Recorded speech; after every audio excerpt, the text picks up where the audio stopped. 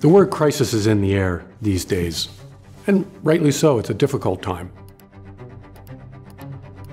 But if we go back to the biblical word crisis, krisis in Greek, it means decision or judgment.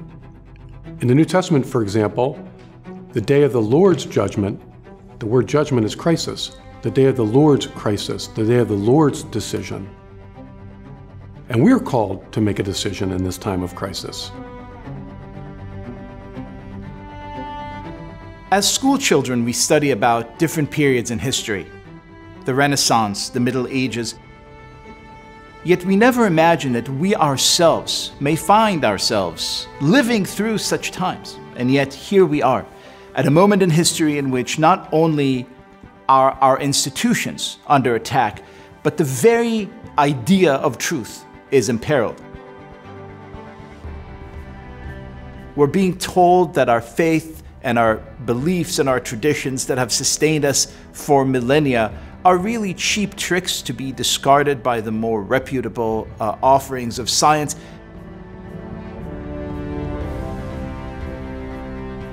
And we're being told that the family, the church, and the nation, the three pillars that have held us up since time immemorial, are really theaters of oppression designed uh, to kind of bring down the individual. This crisis leads to a lack of civil and fruitful discourse. It leads to erosion of families, it leads to the decline in our religious communities, and it leads to in many instances, a collapse of mediating institutions. And in these dark times, we seek a publication, we seek a place, we seek a platform, we seek a community where we could come together and pursue the ideas that have always sustained us and shall continue to sustain us. And that place is First Things.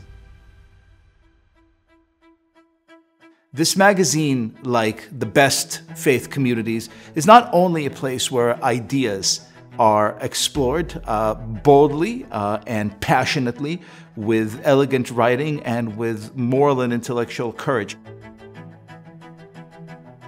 It's also a community of writers and readers who get together to discuss these ideas and sustain each other and hold each other up. One of the great things about writing for First Things is I know that I'm writing for a magazine where the editor has your back. People ask me, how can Jews, Protestants, Catholics come together and be writers and readers of the same magazine? Well, it's simple. In this day and age, to trust that ever greater obedience to God's word will humanize us is a countercultural conviction and it unites us together. First Things is a publication of big ideas, but at its heart, uh, it's also a publication of a very big spirit. It is a spirit that advocates having children, the spirit that advocates the sanctity of life, a spirit that advocates fealty and loyalty and fear of God, a spirit that advocates love of our country,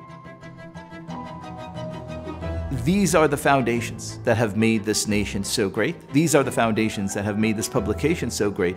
And the two, it turns out, need each other. America needs First Things, and First Things is here to make sure that America relives up to its covenantal promise and renews its spirit soon. Amen. We have an ambitious goal. By the end of 2023, we will seek to raise a million dollars from a thousand donors that's an ambitious goal, but we have ambitious plans. First Things needs to be a stronger voice for the moral and spiritual renewal of the West. In this time of crisis, you need a trusted partner. Please decide to make First Things your partner and donate to our year end campaign.